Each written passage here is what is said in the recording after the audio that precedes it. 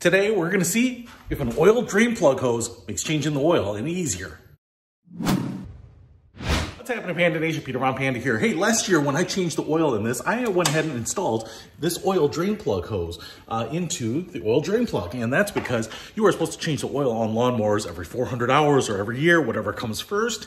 And it's actually a little bit of a pain. As you might be able to see here, the oil drain plug is right above kind of the frame rail of the lawnmower. And what ends up happening is you have to use this little trough, which is always in a place where you don't know where it is. And despite that, the oil tends to kind of drip everywhere and it's really hard to catch and you have to put it in like a pan and then pour it into the container so that you can get it recycled. And I thought, you know, something that's easier is just gonna make my life easier, but it's also probably gonna make me more inclined to change the oil when I'm supposed to. Sometimes you just don't do it because it's inconvenient. So let's find out if this little oil drain plug hose actually makes it really convenient. Okay, so what you can see here is this little drain plug hose is, I don't know, some sort of rubber, and it's pretty nice. It's about a foot long. It has, looks like brass fittings on the top and the bottom.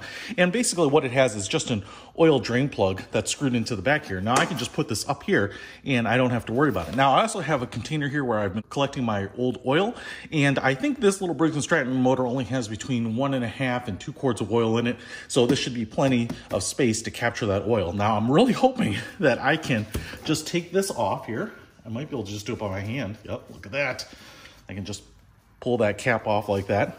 And then if I uncap my jug here, because the plug right now is above the level of the oil, I don't have to worry about it draining out. But what I might be able to do here is put this right into my container, just like that, and now lower it. And some of that may start flowing out on its own, but it's not really flowing very fast right now. You might be able to see it, it's just kind of dribbling out. But now that I've done that, I can open up the cap here to the crankcase and let in some air and see if that starts flowing out any quicker. And it is flowing out here. The oil cap has definitely helped. And what I will show you here is that it flows out like this, but the further down I have this, the faster it flows. Uh, just more pressure, and it might be a little hard to see, but if I hold it down here, it is flowing out pretty good, pretty quick. What I think you're getting is kind of some siphoning action. The, the oil that's falling down here is pulling all that oil behind it. So we'll just let it continue to run here and then cap it off once it's all out. So I've let this drain here. Actually, I uh, got the pan out because I was going to show it to you, but it drained out quickly enough that there wasn't much by the time I got that pan. You can see it's maybe dribbling just a little bit there. I kind of just put like a couple ounces of oil into the crankcase just to flush out what was remaining here. But it's that simple. And actually, the fact that this video is so simple should be a testament to how easy this makes changing the oil in some of these little small you know motors because they can be kind of a pain. In fact some ways uh, doing the oil change on a full-on car can be a little easier just because they are set up for maintenance and because of where the drain plug is. So i've got uh, the plug screw back in there. I just flip it back here where it kind of wedges into its place and doesn't move.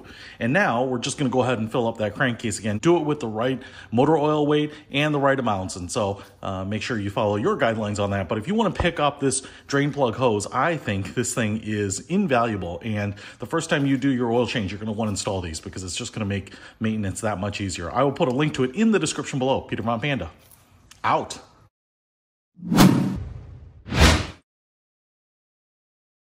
Alexa, how much oil does a Briggs & Stratton 500cc engine take?